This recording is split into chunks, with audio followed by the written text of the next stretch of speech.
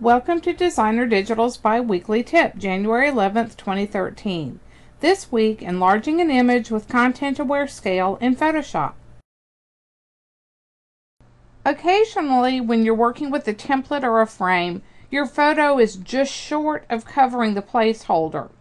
You can always increase the size of the photo, but keeping it in proportion may mean that you have to hide a portion of the photo that you want to keep for either content or for balance.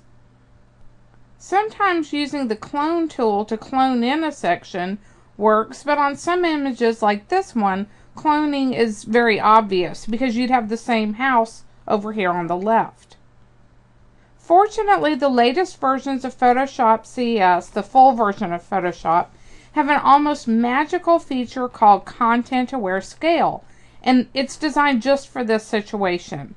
Here's how to use it. Open a new document and an image in Photoshop. Get the Move tool and drag the photo onto the new document. Select the photo layer by clicking on it and then get the rectangular marquee tool. Drag out a selection that completely covers the portion of the photo that you want to stretch. Press the letter V on your keyboard to get the Move tool and then choose Edit Content Aware Scale from the menu bar. Get one of these square handles on the side of the bounding box and drag out to the boundary your new size.